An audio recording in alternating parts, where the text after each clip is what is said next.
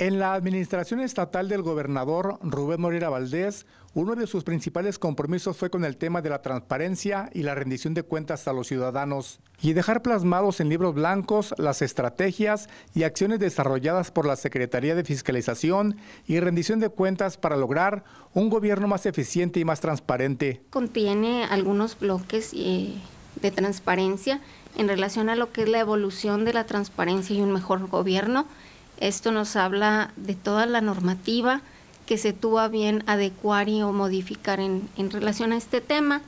También encontramos por ahí temas relacionados a lo que es Contraloría Social, la involucración, perdón, el involucramiento de la ciudadanía en el tema de transparencia.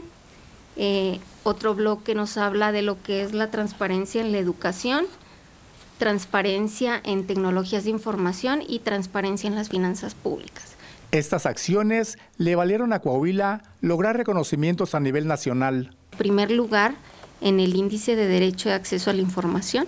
Primer lugar en legislación estatal avanzada en transparencia 2015.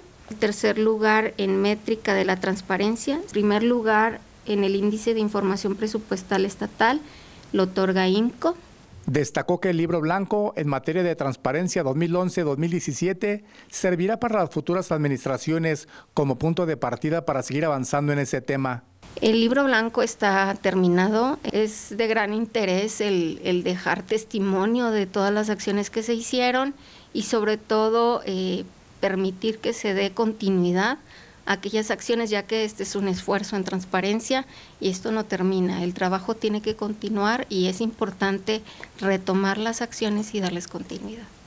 Con imágenes de Eduardo Medina para RCG informó Eduardo Hernández.